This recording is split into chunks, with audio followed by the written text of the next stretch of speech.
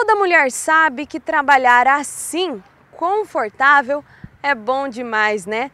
Essa também é uma realidade das comissárias de bordo de uma companhia aérea ucraniana que decidiu dar fim aos saltos altos e saias lápis, após colher um feedback das comissárias sobre o uniforme.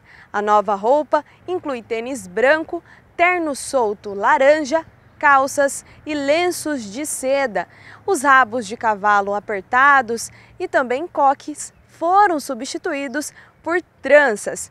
O novo uniforme será lançado oficialmente no dia 22 de outubro.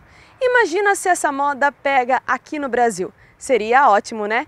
Bom, eu fico por aqui. Para mais informações, você sabe, é só acessar o leiagora.com.br.